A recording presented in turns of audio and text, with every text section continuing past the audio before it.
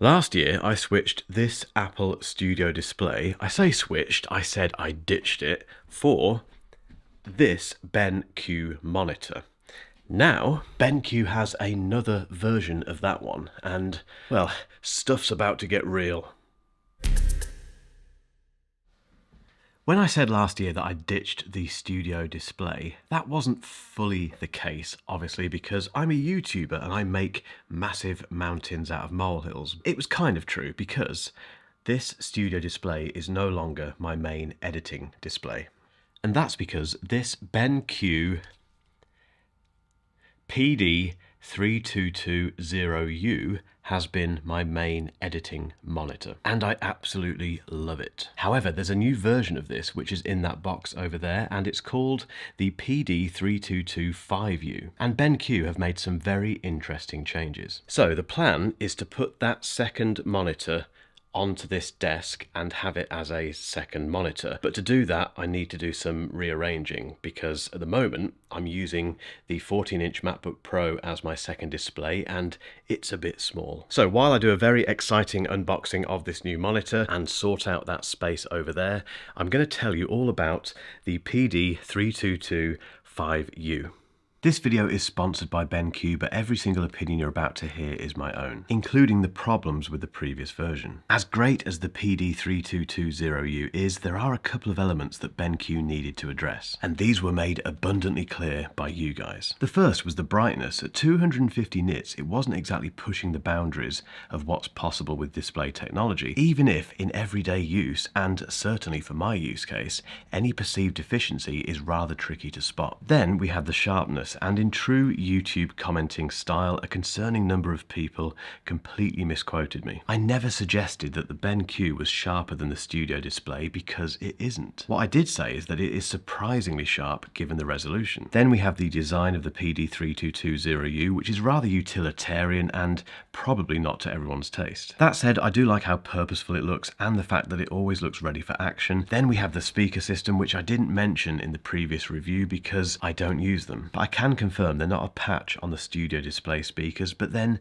nothing is. Okay, onto the spec differences, and the 32-inch UHD LG display in the new monitor is now IPS black rather than regular IPS. And that promises deeper blacks thanks to better liquid crystal properties and minimized light leakage. The brightness is now 400 nits. The contrast ratio is 2000 to 1 up from 1000 to 1. And that speaker system has had a boost as well. It's now 2.5 watts rather than 2 watts. There's been a few environmental improvements, including the housing of the monitor, which is now made from 85% post-consumer recycled materials. The price, £1,099 in the UK, which is still nearly 500 quid cheaper than that studio display.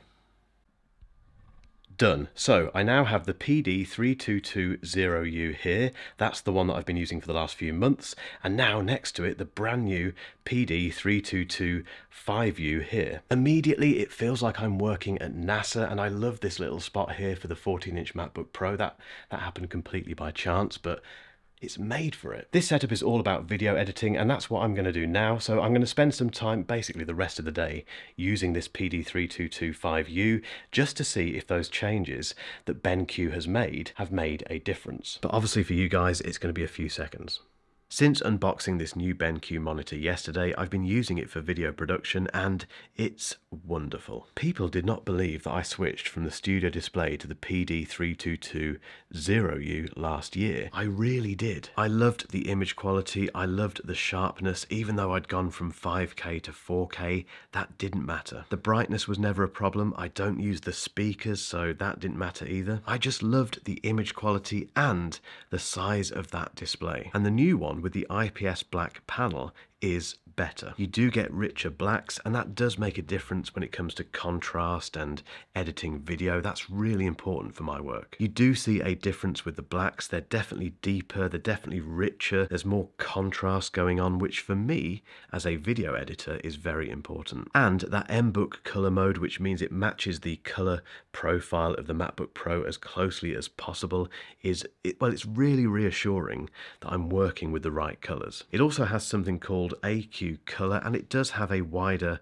colour gamut than the previous version, which if you're really into colour, if you're a colourist or you're someone who really, really takes an interest in that stuff and you do a lot of design work that demands accurate colour, that's important. I just think that the PD3225U, even though I wish it had a snappier name, is an example of a monitor that's affordable and that gives people like me just enough functionality and just enough reassurance that the colour and the image quality is enough to do video editing on, along with the fact that it has that hidden depth, all of those different colour profiles for the people who really, really need accurate colour reproduction. If that's you, but you don't want to spend 1500 quid on an Apple Studio display, this makes so much sense. As for that speaker system, it's definitely louder and a bit richer than the previous version, but again, I use headphones and anyone who's using this professionally, I don't think will be using the speakers.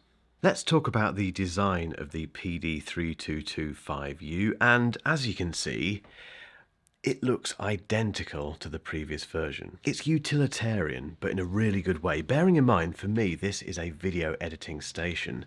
I want it to look professional, and I think BenQ have nailed that. More importantly, it's still tilt, swivel, pivot, and height adjustable, which means you can set this monitor in pretty much any configuration you want, and let's be honest, you can't do that with the Studio Display unless you spend more money. In terms of connectivity, we get two HDMI 2.0 ports, a display display port and two Thunderbolt 3 ports. There's also a bunch of USB ports, including USB-C and USB-A, which basically turns this into a USB hub. But one of the best things about this monitor is that you need just one cable between the monitor and your MacBook to charge your MacBook, send the image, and gain access to all of those ports. And if you're wondering how I've connected this second monitor, I've daisy chained it from this one. So basically, I have one cable going from the MacBook to the new PD3225U, and then a Thunderbolt cable going from that monitor to the PD3220U, and it just works. And that means there's still just one cable coming out of the MacBook. The PD3225U is also compatible with BenQ's Display Pilot 2 software. That includes color mode switching, dual view for showcasing design side by side. Remember, this is a very design focused monitor. And on that note, print assist for previewing projects in actual print size, and loads more features including the ability to change the colour profile on the monitor. In the box you'll also find the hotkey Puck G2 which can be placed on your desk and used to control colour profiles and things like the sound and the brightness. And yes, you can control the brightness of this monitor via the Mac keyboard.